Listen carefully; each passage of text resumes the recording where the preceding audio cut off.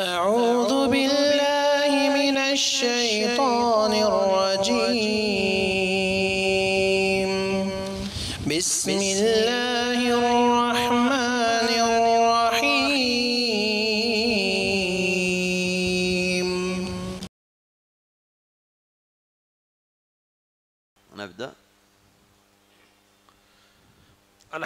لله رب العالمين والعاقبة للمتقين والصلاة والسلام على سيد الأنبياء والمرسلين نبينا محمد وعلى آله وصحبه أجمعين.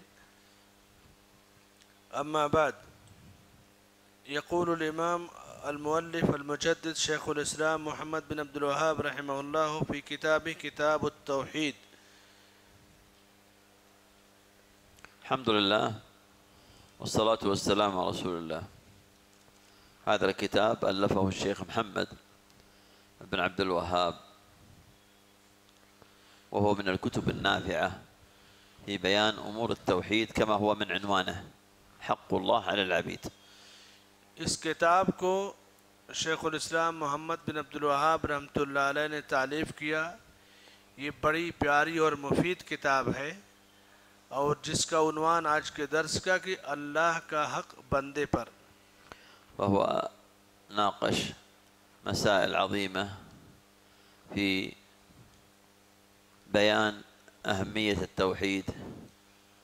اور انہوں نے توحید کی اہمیت کے بیان میں بڑے اہم مسائل کو ذکر کیا ہے اس کو پیش کیا ہے۔ وما تفسيره۔ اور توحید کی تفسیر بیان کی ہے۔ وما فضله۔ توحید کی فضیلت بیان کی ہے۔ كيف تحقيقه؟ کیسے اس کے تقاضوں کو پورا کریں گے؟ والدعوة إليه. کیسے دعوت دیں گے اس کی طرف؟ وما ينقض أصله اور توحید سے آدمی کیسے نکل جاتا ہے؟ وما ينقص كماله اور توحید میں کمی کیسے ہوتی ہے؟ وما يخل كماله الواجب.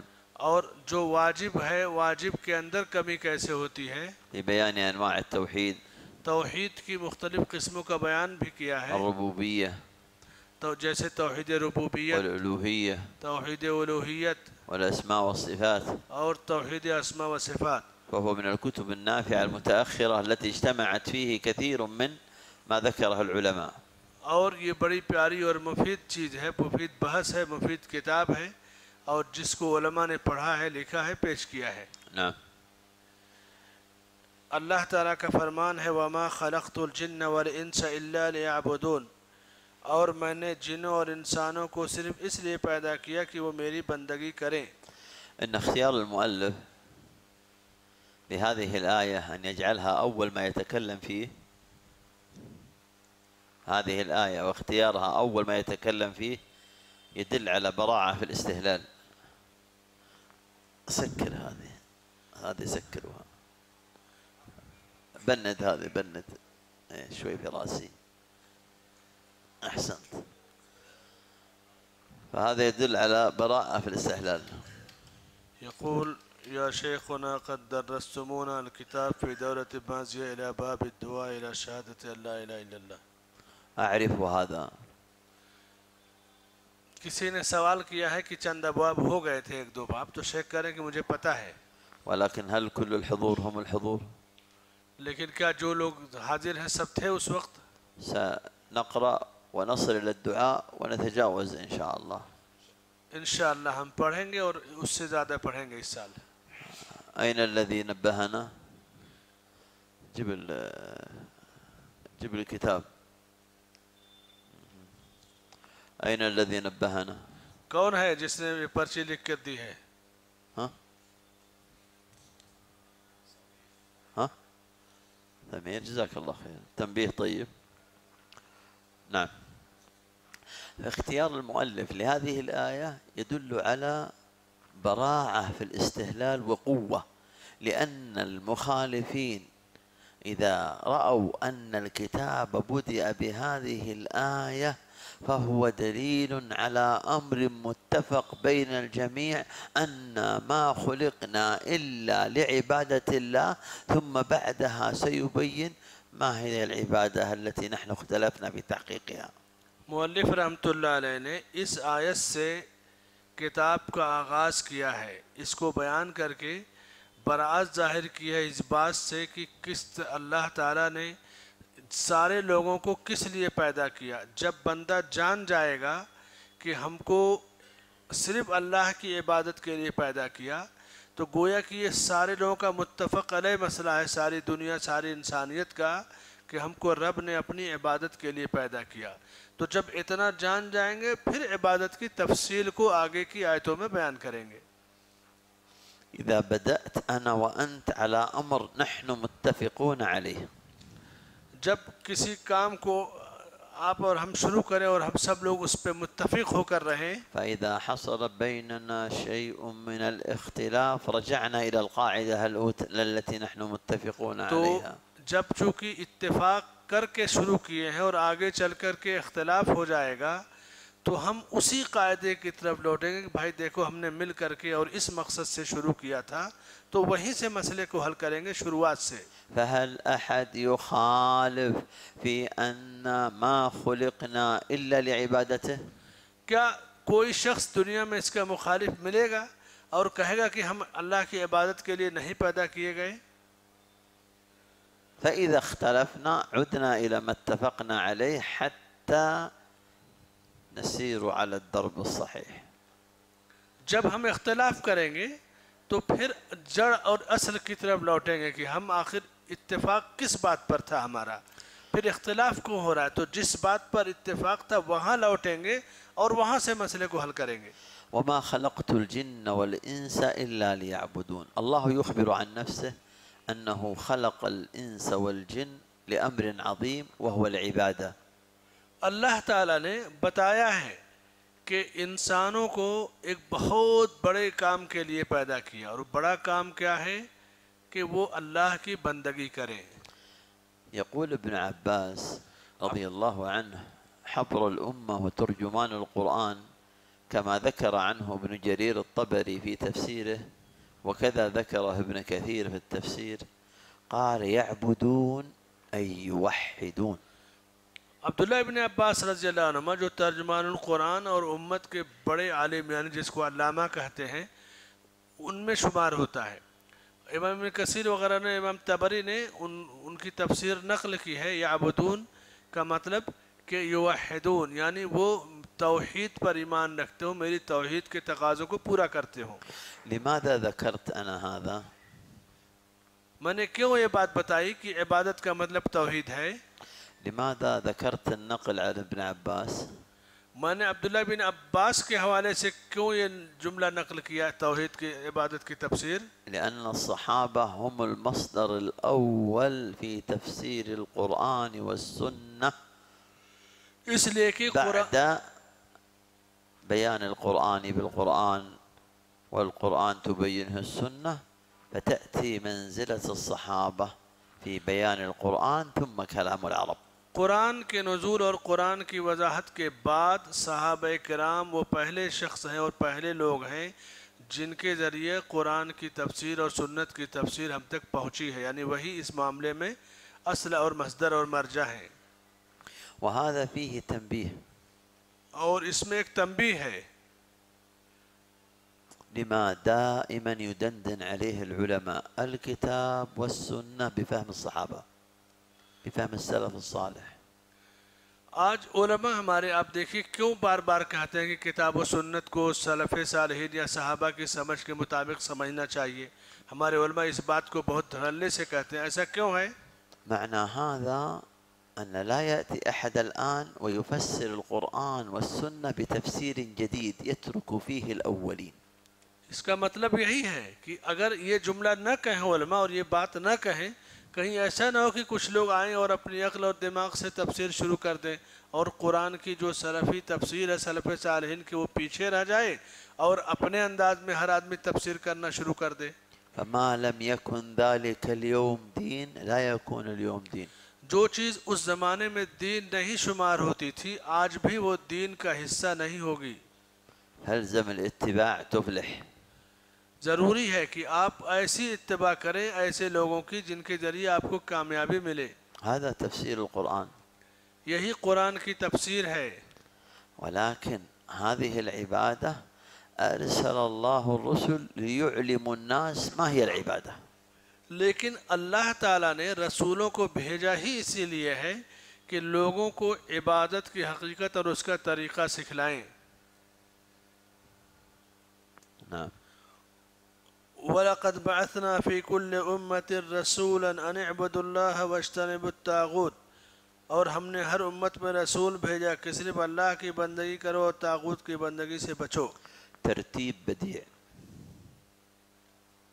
هذا الترتيب في اختيار الآيات جميل آیتوں کو جو منتخب کیا ہے اور سیٹ کیا ہے اس کے بعد یہ آیت بڑا پیارا انداز ہے۔ یہ الشيخ محمد بن عبد الوهاب ألف هذا الكتاب وعمره عشرين سنة शेख मोहम्मद बिन अब्दुल वहाब रहमतुल्लाह अलैह ने जब ये किताब लिखी तो उनकी उम्र 20 साल थी تعلم في نجد ثم تعلم في الحجاز ثم ذهب فتعلم في العراق आपने उलमाए नजद से फिर उलमाए हिजाज से और उसके बाद उलमाए इराक से इल्म हासिल किया وألف هذا الكتاب وهو في البصرة और ये किताब अपने घर में बैठ करके लिखा ذكر هذا حفيده عبد الرحمن بن حسن بن محمد في كتابه المقامات.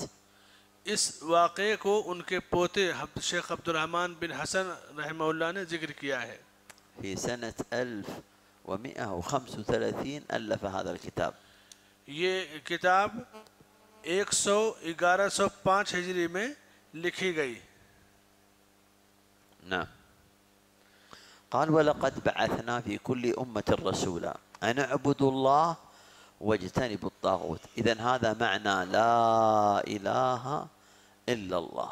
أن اعبدوا الله معنى إلا الله. واجتنبوا الطاغوت لا إله فهذا نفي وإثبات. إذا معنى العبادة التي خلقنا من أجلها بعث الرسل ليعلموا الناس كيف يمارسوها. فرمایا کہ ہم نے ہر امت میں رسول بھیجا، یہ کہہ کر کے کہ اللہ کی بندگی کرو اور طاغوت سے بچو۔ یعنی عبادت کا معنی بندہ اسی وقت اس کا حق ادا پر کر پائے گا جب تک یہ نہ جان لے کہ مجھے کس نے پیدا کیا اور کس کی عبادت کروں گا۔ تو جب اتنا جان جائے گا تو پھر عبادت کیسے کرنی ہے اس کی طرف آئے گا۔ فَتَجِدِ الآیات غَالِبُهَا يُبَيِّنُ معنى إرسال الرسل أنها لا إله إلا الله العقيدة التوحيد. فكل الرسل دعوا إلى لا إله إلا الله ولكل جعلنا منكم شرعة ومنهاجا. فالمنهاج في أمور العبادة الفقهيات جعل الله لهم مناهج أما العقيدة واحدة. نحن أبناء علات أبانا واحد يعني عقيدتنا واحدة ولكل جعل منهاج. ہمارا عقیدہ ایک تکالیف ہے۔ جب سے آدم علیہ السلام دنیا میں آئے سارے لوگوں کا عقیدہ اور مقصد ایک ہے کہ اللہ کی عبادت کی جائے۔ لیکن شریعت الگ الگ ہے۔ طریقے اللہ نے سکھائے رسولوں کو نبیوں کو بھیج کر کے۔ تو عبادت کا طریقہ اللہ نے رسولوں کے ذریعے جو سکھایا ہے ہر امت کو اس کے رسول کے ذریعے جو طریقہ ملا ہے اسی طریقے پر عبادت کی جائے گی۔ وقضى ربك ألا تعبدوا إلا إياه وبالوالدين إحسانا. أيضا هذا الاختيار موفق. وقضى أي أوجب. وقضى ربك ألا تعبدوا. هذا معنى لا إله إلا إياه. هذا معنى إلا الله. اور تمہارے رب کا یہ فیصلہ یعنی فیصلہ ایسا کہ حکم ہے واجب ہے ضروری ہے کہ تم عبادت صرف اللہ کی کرو یعنی اللہ کے سوا کوئی ایسی ذات نہیں ہے جس کی عبادت کی جائے۔ هذا الذي امر به وقضاه واوجبه اسی کا حکم دیا گیا اور اسی کو اللہ نے ہم پر فرض قرار دیا اور لازم قرار دیا۔ نعم۔ پھر فرمایا کہ وَاعْبُدُوا اللَّهَ ولا تُشْرِكُوا به شَيْئًا۔ اذن وَاعْبُدُوا اللَّهَ ولا تشركوا به شيئا هذا معنى التوحيد لا إله إلا الله فهذه الآية فيها نفي وإثبات فمن يبينه لنا और तुम अल्लाह की इबादत करो और उसके साथ किसी को शरीक न ठहराओ इस आयत में इस बात भी है नफ़ भी है कौन है आप में से जो बताएगा कि कहाँ इस बात है कहाँ नफ़ी है من يجيب نعم أحسنت أحسنت وهذا معنى لا إله إلا الله وهذه هدية لك इनका जवाब सही है वह अबुदुल्लाह और बारक अल्लाह अल्लाह। की इबादत करो इसमें इस बात है नाम। वला तुशरिकू बिही शैया और उसके साथ किसी को शरीक न ठहराओ ये नहीं है كل الآيات بما أرسل الله به الرسل في التوحيد تجدها معنى لا إله إلا الله قائم على نفي العبادة عن كل المعبودات وأنها باطلة وأن المعبود بحق هو الله وحده لا شريك له. جتنی بھی آیتیں اس باب کی ملتی ہیں آیتوں ان میں اللہ تعالیٰ نے اپنی عبادت کا جہاں حکم دیا ہے وہیں معبودان باطلہ کی نفی اور تردید بھی کی ہے کہ عبادت صرف اللہ کی کی جائے گی اور اس کے سوا جن کی بھی عبادت کی جاتی ہے وہ باطل ہے۔ ایک اور جگہ پر اللہ رب العزت نے فرمایا قل تعالوا أتل ما حرم ربكم عليكم ألا تشركوا به شيئا. أي يا محمد قل لهم. يعني الله نے اپنے أتل ما حرم عليكم ربكم. أخبركم بما حرم الله. ألا تشركوا به شيئا. وذكر فيها عدة أمور لكن أول ما بدأ ألا تشركوا به شيئا. والنفي عن الشيء إثبات لضده. فنفى الشرك أي وحدوه ولا تشركوا به شيئا یعنی اللہ نے حکم دیا اور نبی کہہ رہے ہیں کہ میرے رب نے مجھ کو جو حکم دیا یا جو نازل کیا میں اسے بیان کر رہا ہوں کہ اللہ تعالیٰ کے ساتھ تم کسی کو شریک نہ ٹھہراؤ اور اس کو شرک کو حرام قرار دیا۔ نعم۔ अब्दुल्ला इबन मसूद रजी अल्लाह ताला अन्हु फरमाते हैं कि जो शख्स अल्लाह के रसूल सल्लल्लाहु अलैहि वसल्लम की सर बमोहर वसीयत मुलाहजा करना चाहता है तो वो अल्लाह का ये फरमान पढ़ ले कुल तआलू अत्लु मा हर्रम रब्बुकुम अलैकुम अल्ला तुशरिकू बिही शैया वबिलवालिदैन इहसाना वला तक़तलू औलादकुम मिन इमलाक नहनु नरज़ुकुकुम व इय्याहुम वला तक़रबुल फवाहिश मा ज़हर मिनहा व मा बतन ولا تقتلوا النفس التي حرم الله إلا بالحق. ذلكم وساكم به لعلكم تعقلون. ولا تقربوا مال اليتيم إلا بالتي هي أحسن حتى يبلغ أشده. وأوفوا الكيل والميزان بالقسط. لا نكلف نفسا إلا وسعها. وإذا قلتم فاعدلوا ولو كان ذا قربى. وبعهد الله أوفوا. ذلكم وصاكم به لعلكم تذكرون. وأن هذا صراطي مستقيما فاتبعوه ولا تتبعوا السبل فتفرق بكم عن سبيله ذلكم وصاكم به لعلكم تتقون. إذا هذه هي وصية الله الأولين والآخرين. پہلے جو لوگ گزرے ان کے لئے اور بعد میں جو لوگ آئیں گے ان کے لئے تمام کے لئے اللہ کی یہی وسیعت ہے۔ هذه الآیات تسمى الوصايا العشر. ان آیتوں کو کہا جاتا ہے کہ دس وسیعتیں استفیدوا منها. استفادة وتهيئ هذا لك يا شيخ. أو أعطوك؟ طيب. ما كان بعطيك هذا. ضعه. نعم. لاحظتم التسلسل في الآيات؟ تسلسل بديع. مسلسل چند آیتوں کو ملاحظہ کیا۔ نعم. اذا لماذا خلقنا؟ ہمیں کیوں پیدا کیا گیا؟